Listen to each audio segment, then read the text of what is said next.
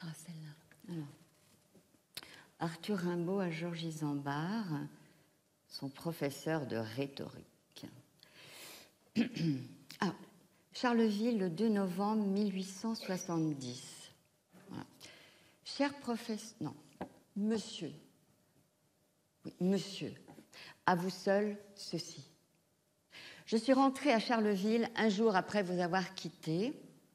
Ma mère m'a reçue et je suis là, tout à fait oisif. Ma mère ne me mettrait en pension qu'en janvier 1971.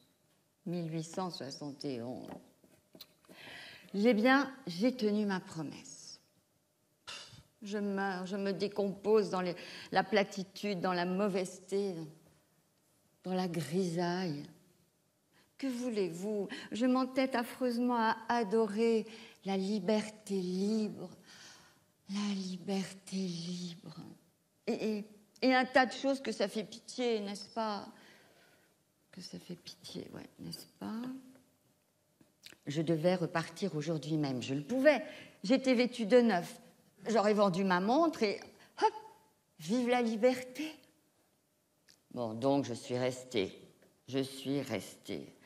Et je voudrais repartir encore bien des fois.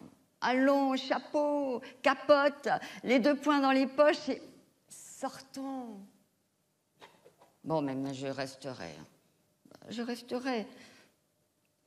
J'ai pas promis cela, mais je le ferai pour mériter votre affection. Vous me l'avez dit. Je la mériterai. La reconnaissance que je vous ai, je ne saurais pas vous l'exprimer aujourd'hui plus que l'autre jour. Je vous la prouverai.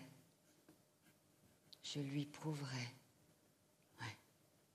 Il s'agirait de faire quelque chose pour vous, que je mourrais pour le faire. Je vous en donne ma parole.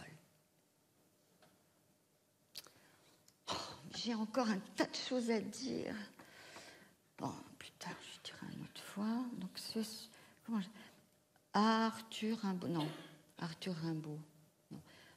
Ce sans cœur de A. Rimbaud. Voilà.